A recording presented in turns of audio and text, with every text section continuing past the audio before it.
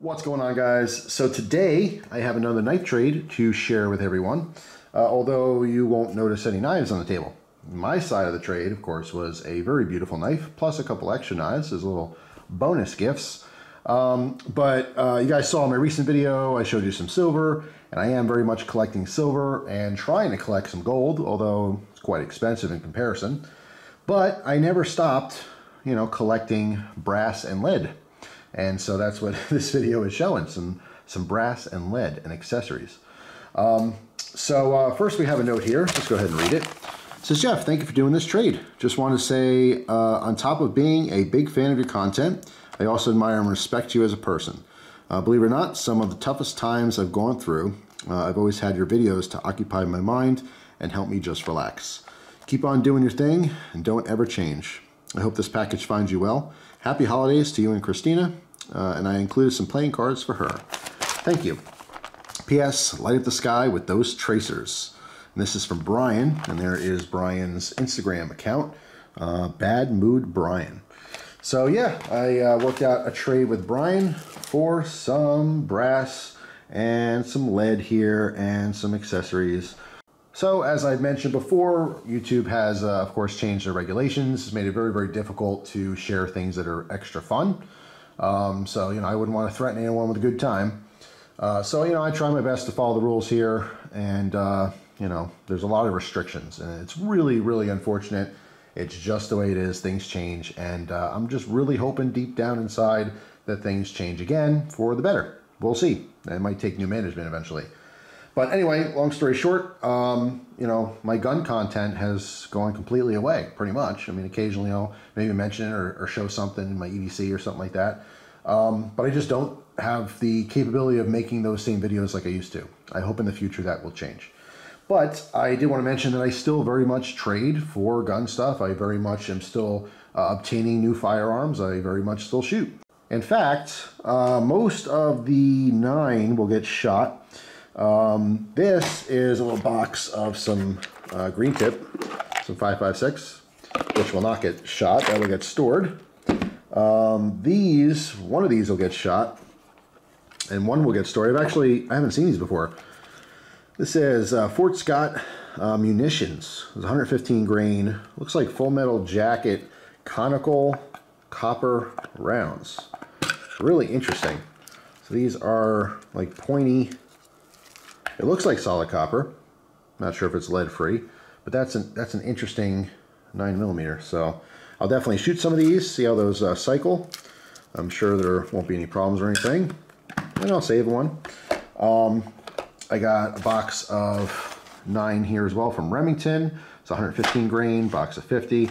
Got some of the prices on here are, I guess is 11.99 which it should be for a box of 50. 10 bucks. This was 13 bucks for this Winchester white box. Uh, there's another Remington. This was 10 bucks. Man, this person, uh, they stocked up when they should have. And that's what he mentioned. You know, he stocked up way before prices got crazy. Then I have some uh, some more 556, a couple boxes off to the side here. Um, then, uh, you know, half of the tray was really for ammo. The other half tray was for these Glock 43 mags. And they have the Hyve base plates. Uh, these three, I believe, are plus two oh no, I'm sorry, these three, the black, blue, and greenish um, color there. I don't know what you'd call that, mossy green maybe? I don't know. But these are plus two, and then this is a plus one, I believe, with the silver. Um, and then he also hooked up Christina with a deck of cards. I know she doesn't have this because she's not particularly, you know, a huge fan of mermaids or anything. But it's kind of cool. It's cool to have a, a, deck of cards that, you know, I I know she doesn't have. Um, but she definitely uh, appreciates it. So I, I, showed this to her already uh, before I started the, the video, and she did want me to say thank you. Um, but yeah, so Super Mermaid fan playing cards. And he hooked it up with some decals. I actually really like decals. All right, so these, these all go in the, the gun safes and whatnot. Uh, Mission Barbecue, the American way. Big fan of barbecue.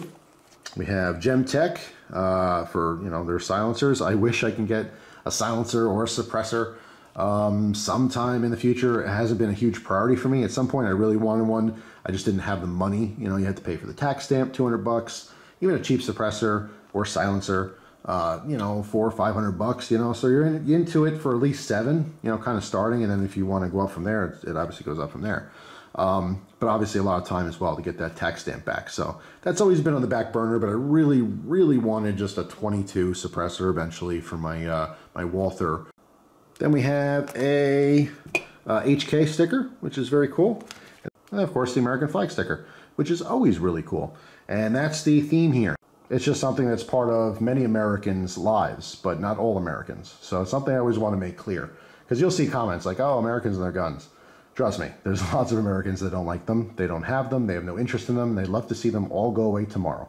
But it's just not possible. And because of that, I'm into it. And I want as many as possible. So anyway, that's it for now. Just wanted to mention, still very much, you know, shooting, very much collecting, and very much enjoying the, uh, the firearm hobby. Um, but a lot of it's behind closed doors. You guys just don't get to see it, unfortunately. But who knows? Maybe in the future, I'll be able to show more of it. You never know what's going to happen. And actually, before I go, I didn't even mention because in the, the letter he had said, uh, you know, enjoy the tracers. That was one of the things I was most interested in. He had uh, hooked me up with uh, 80 rounds of these American Eagle tracers, which have that little, whatever it is, red phosphorus. So when you shoot them, you can shoot them in low light or at, you know, uh, you know, totally black situation at night, and you'll be able to follow, you know, where that round goes. So it's to be really fun. Um, I'll probably end up shooting those with my dad, so it'll be a very much a, a father-son American bonding moment. Um, and I'll probably share that on Instagram. Unfortunately, I can't share it here. I'd love to. It's just one of those things. It's just hard to keep up with the rules, you know? But if you uh, do follow me on Instagram, you'll see that video eventually. So that's it for now. Hope you guys have a fantastic day, and I will see you tomorrow with a brand new video. Take care.